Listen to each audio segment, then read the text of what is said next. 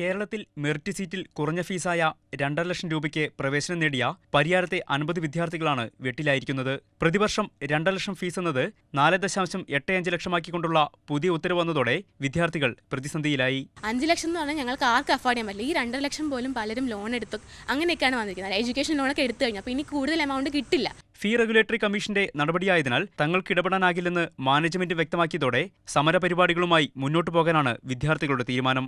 ഞങ്ങൾ ഇനിയും നിയമപരമായിട്ട് കോടതിയിൽ ഈ കമ്മിറ്റിക്കെതിരെ ഒരു കേസ് വരെയാണ് തീരുമാനിക്കുന്നത്. ആഗസ്റ്റ് ഒന്നിന് പരീക്ഷ എഴുതേണ്ട വിദ്യാർത്ഥികളോട് പതിനഞ്ച് ദിവസത്തിനകം ബാക്കി ഫീസായ രണ്ട് ദശാംശം മൂന്ന് അഞ്ച് ലക്ഷം രൂപ അടയ്ക്കണമെന്നാണ് മാനേജ്മെന്റ് നിർദ്ദേശം. മറ്റെല്ലാ കോളേജുകളിലും ഈ ഇതിൽ കൂടുതൽ നിങ്ങൾക്ക് ചിലപ്പോൾ ഫീസ് കൂടാമെന്നും കൂടിയാൽ നിങ്ങൾ തരേണ്ടി വരുന്നുള്ള ബോണ്ട് എഴുതി വാങ്ങിച്ചിട്ടുണ്ട്. ഞങ്ങൾ ഒരാളെടുത്ത് പോലും അങ്ങനത്തെ ഒരു ഒറ്റ ബോണ്ട് പോലും വാങ്ങിച്ചിട്ടില്ല.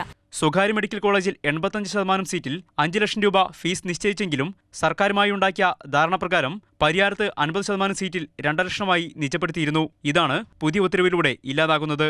മാതൃഭൂമി ന്യൂസ് കണ്ണൂർ